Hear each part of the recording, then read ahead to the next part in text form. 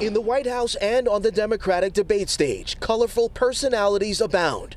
But the absence of any diversity in this year's race for president is not lost on Michael Garner. We're successful because we focus on solutions and we are not blinded by problems. The president of 100 Black Men, the legendary nonprofit organization which held its 40th annual benefit gala Thursday night in Midtown Manhattan and we fill the voids. $100,000 a year in college scholarships. From the stage, the eyes of the nation now fixated on the question of stop and frisk.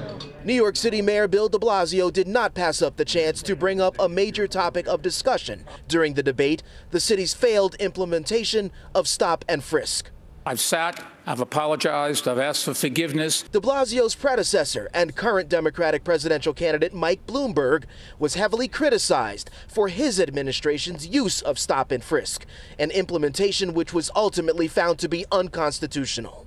I was one of the very first groups I wanted to be a part of. That's how it started. But to be clear, this gala was obviously not just a forum to talk politics. It was also an opportunity to remind the crowd of the work 100 Black Men performs in honor of its mission to play a proactive role in leveraging our collective talent, ability, and energy toward achieving meaningful gains for the black community.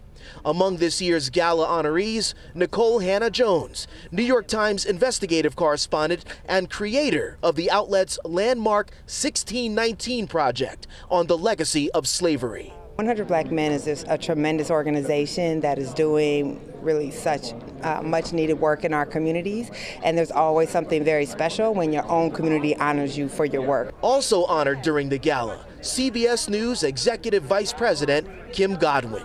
I remember being that young kid in urban America, not having very much, and seeing another black woman at in news. And it just said to me that it was possible.